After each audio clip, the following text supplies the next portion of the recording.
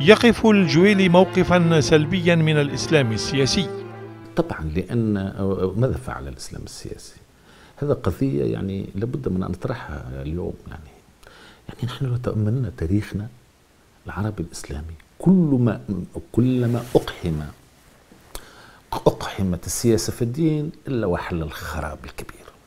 هذا بدأت من معاهدة السقيفة وقتل الخلفاء. والعروشية والقبلية التي عادت بعد موت النبي عليه السلام.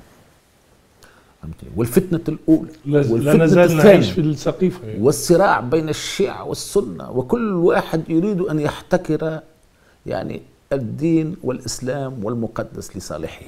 وهذا ما فعله الإسلام السياسي. أعتقد اعتقادا جازما في ذلك. لماذا؟ لأنه لأن الدين كاللغة. أستاذ اللغة العربية الدراسات اللسانية الحديثة مثلا ناخذ دوسوسيور أو كذا ماذا يقول؟ يقول أن اللغة هي ملك جماعة.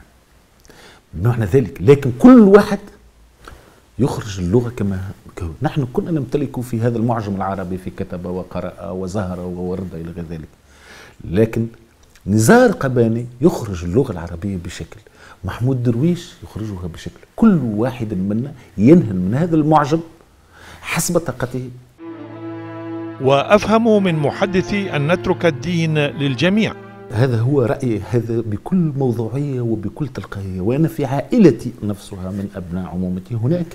يعني من ينتمون إلى هذا التيار وفيهم الكثير من الناس الطيبين والأبرياء ولكن المشكلة هي ليست في الطيبة المشكلة في الوعي التاريخي. عندما يتعلق المسألة بالوعي لم تعد هناك العواطف والنيات لذلك لأن التاريخ لا يسير بالنيات يسير يعني بالعقل. الحقيقة بالوعي التاريخي الذي يلتقط يعني يعني آه، آه، طبيعة المرحلة وما يبغى نحن في العالم العربي الآن نعيش بحقيقة يعني كارثة بأتم معنى الكلمة.